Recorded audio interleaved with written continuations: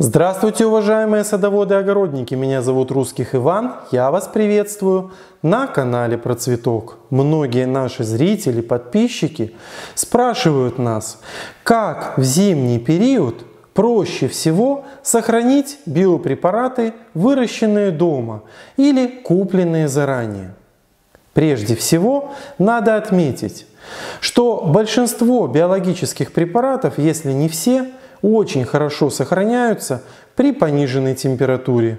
Это общее правило живого, что оно развивается медленнее и обменные процессы там происходят медленнее в случае, если температуры низкие. Поэтому для бактериальных и грибных препаратов, которые выращены в жидкой фазе, вот в такой вот жиже, вот у меня здесь, например, нарощен метаризиум, а, и очень хорошо нарощен, прям такой мицелий шикарный, там внутри болтается уже из пароношения, ну а вот здесь вот сенная палочка нарощена, точно так же наращиваю я липидоцит, битоксибацилин и многие-многие другие препараты. У нас об этом много информации на канале про цветок. Вот проще всего, что можно сделать? Взять и перелить их в бутылку пластмассовую, какую угодно бутылку, поставить в холодильник или опустить в холодный подвал, там, где температура примерно 5 градусов тепла, 3, 5, 7, ну вот в этих вот пределах, до нуля. Замораживать их тоже можно, но если вы заливаете их в пластмассовую бутылку или стеклянную, имейте в виду, что если наливаете вы ее полностью и она замерзает, есть риск, что бутылка лопнет или крышечку, пробочку просто оторвет. Поэтому Поэтому если вы решите их замораживать, это тоже допускается. На 5-6 месяцев препараты можно легко заморозить, и эффективность и жизнеспособность бактерий, которые там живут, и грибов ничуть не уменьшится. А, просто имейте в виду, что полностью, особенно стеклянную тару, заливать нельзя. Она может лопнуть от расширения жидкости. Именно поэтому часто на упаковках, на флаконах с препаратами пишут не допускать замерзания чтобы не поразрывало эти самые пластиковые упаковки, не повредило эту упаковку. Поэтому самое простое – перелить, закупорить и поставить на холод.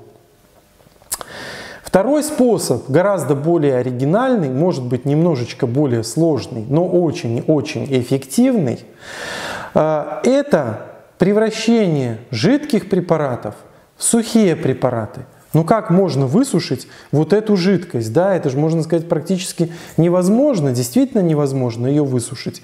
Однако есть один способ. Среди различных субстратов для улучшения почвы можно найти такой, который называется агроперлит. Это пористая, такая очень пористая субстанция, которая не содержит в себе ни грибков особо, ни, ни каких-то бактериальных контаминаций, ничего такого, чтобы нарушила э, вот функциональность этих препаратов или же впоследствии навредила растениям. Напротив, э, агроперлит создает сам по себе очень благоприятные условия для роста и развития растений, будь то рассада, будь то комнатные растения, будь то что-то что-то еще. Агроперлит способен вбирать в себя значительное количество жидкости. Таким образом, что он внутрь ее всю забирает и потом постепенно отдает. Это замечательное свойство для использования его в качестве компонента смесей для грунтов для рассады, а также для внесения, например, в теплицу, если у вас очень тяжелый грунт, его надо как-то облегчить и так далее. Рекомендаций по этому поводу очень много. Но остановимся на консервации и сохранении домашних биопрепаратов. Вы можете влить прямо сюда, в этот агроперлит, столько жидкости, сколько она возьмет. Как правило, это количество равно половине объема перлита. Вот если у меня литровая банка перлита, то в этом случае пол-литра, ну или почти пол-литра, можно туда влить смело. И как следует вот так вот перемешать с тем, чтобы э, перлит равномерно увлажнился этим препаратом. Ну это очень простая процедура. Берете, вливаете сколько надо и все. Он у меня уже увлажненный на самом деле, поэтому я все выливать не буду. Ну и как бы у меня на другие цели здесь это нарощено. Мне его жалковато. Перемешиваете все как следует и затем высыпаете этот влажный, увлажненный перлит на бумагу. Это может быть газета, это могут быть какие-то листы А4, это может быть что угодно. Слой должен быть примерно 1-1,5 сантиметра. И оставляете вот этот перлит высыхать ну, где-то в теплом месте, которое благоприятно для его высыхания. Компоненты биопрепарата войдут внутрь этого перлита – закрепятся там, и вы весной получите в итоге превосходный препарат, который уже непосредственно готов к использованию.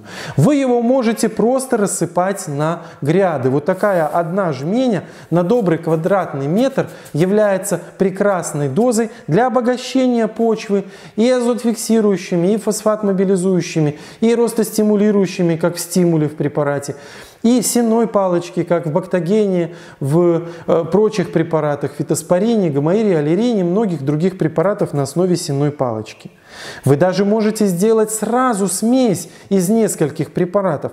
Половину объема заливаете сенной палочкой, вторую половину, например, азотовитом там или еще чем-то. О взаимоотношениях разных препаратов у нас на канале имеется информация. Можете ее посмотреть э, послушать, что посмотреть об этом мы говорим, какие рекомендации даем. Если у вас из препаратов только сенная палочка, только сенная палочка, то вы можете сушить прямо на печке. Ну, если вы в деревне живете и у вас печное отопление. То, что этот препарат разогреется до температуры там 60-70 градусов, для сенной палочки совершенно безболезненно. Ее споры Э, способны выдерживать даже температуру в 100 и даже чуть больше градусов. Кипячение в течение 10-15 минут. Они способны выдерживать легко. Поэтому вы можете высушивать их достаточно быстро, если вы имеете вот такое жаркое тепло. Но это касается только сенной палочки. Во всех остальных случаях вы, пожалуйста, это расстилайте ну, в каком-то теплом, но вот не жарком, как на печке месте. Высушивайте до сухого состояния, укупоривайте в полиэтиленовые пакеты и храните так, как вам захочется. Хотите в шкафу, хотите в кладовке, хотите в сарае на морозе, хотите в подвале, как угодно. Но единственная просьба, чтобы туда не сильно попадала влага. Потому что если влага будет попадать особенно на грибные препараты, то они здесь даже могут начать расти. Ну, ничего плохого в этом абсолютно нету. Это вполне нормальная история, вполне нормальная ситуация. Что касается грибных препаратов и вот то, что они могут расти и давать споры. На одном из каналов я увидел такую глупость и такую чушь. Вообще не очень люблю обсуждать там, ну, иногда обсуждаю, но просто наболевает, как сейчас. А вообще в 99% и 9 э, в периоде э, десятых я пропускаю мимо себя эту, эти глупости, которые говорятся, и просто не акцентирую на, их, на них внимание. Но здесь просто наши подписчики обратили мое внимание, я хочу отметить вот что. А, одна блогер, говоря о препарате на основе гриба метаризин, метаризиум, метаризине, когда приготавливала его и когда делала обработку, то одевала там чуть ли не респиратор и пугала всех, что этот гриб опасен и вот очень опасный для тех, кто выращивает его в домашних условиях и так далее. Это вселенская глупость, где-то она там консультировалась даже, не знаю, что у нее там за консультанты были. Это вселенская глупость. Это ну какой-то просто хайп на, на теме домашних биопрепаратов. Не знаю, не знаю, что это глупость или намеренное введение в заблуждение. Я могу сказать одно. Метаризин, гриб, метаризин, метаризиум – в тропических странах широко рекомендуется к использованию для опрыскивания марлевых сеток, тентов при защите от комаров. Их обрыз... от малярийных комаров. Их обрызгивают споровой массой, эти тенты, и люди под ними спят. И все прекрасно, все отлично. Это рекомендация. Это то, что в практике, чтобы малярия не болеть, чтобы, ком... количество комаров уменьшилось. Понимаете? А она в теплице там обрабатывает стандартным препаратом магазин, еще там что-то, какие-то средства защиты бешеные, что, мол, споры попадут, что все это очень вредно. Конечно, средства защиты надо использовать с э, средствами защиты глаз, там, рта, ну, чтобы просто любой препарат так надо использовать. Можно не использовать, но стоять не, таким образом, чтобы ветер не дул и чтобы не дышать этим и в глаза и на лицо не попадало. Это элементарные способы защиты для любого препарата абсолютно.